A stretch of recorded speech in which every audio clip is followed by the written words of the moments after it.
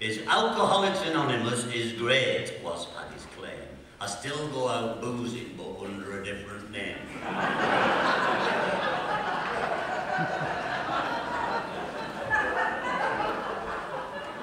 and then there's one here. Uh, there's bloke, well, you won't be able to see that, but some cartoons in it, well, there's one on every page, in fact.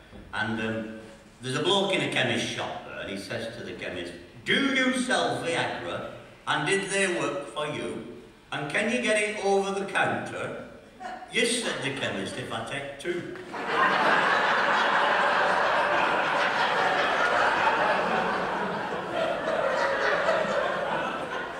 they all rhyme.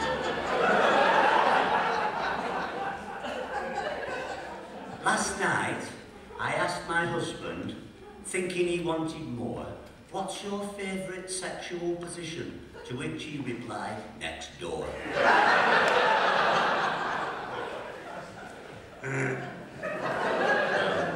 I'll just do another one, then I'll read a couple from the new book. Because I've done, uh, I've done another one. It's similar but different. If this is a cautionary one for anybody who's been cast aside, uh, marital, in the marital state, mid, mid, midlife crisis, usually pertains to blokes, this.